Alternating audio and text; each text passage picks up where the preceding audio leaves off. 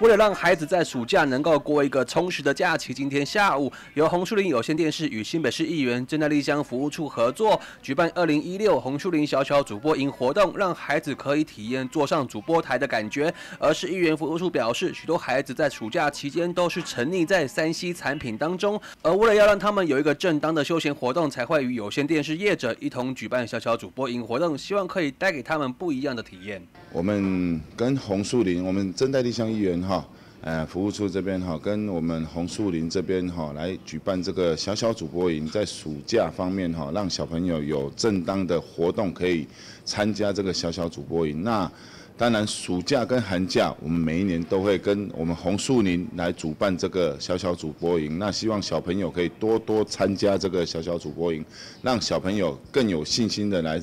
上电视主播。这一次的活动不只是让孩子在摄影棚体验当主播的乐趣，黄树林有线电视以生动活泼、有趣的方式，让孩子了解台湾电视从早期最初的三台频道，一直到现在上百台节目的历史过程，更增加孩子对于电视历程的了解。而小朋友都说，坐在主播台上真的很紧张，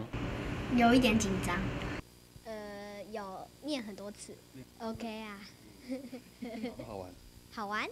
小孩子本身就是没有什么自信心，所以希望利用这次的这样子的活动体验，然后可以增加孩子，就是可以在镜头上面更自然的表现，然后希望可以呃可以就是提升他的自信心。小朋友第一次坐在摄影棚的主播台上，虽然有些许的紧张，但也相当兴奋。从头到尾一字一句的播报，看起来颇有主播的架势。小朋友说，第一次面对镜头会非常紧张，但也觉得很好玩，希望可以在体验一次。而每一位小朋友都可以拿到一元服务处与红树林有线电视所发送的赠品，让孩子过一个不一样的暑假。记者许端一淡水采访报道。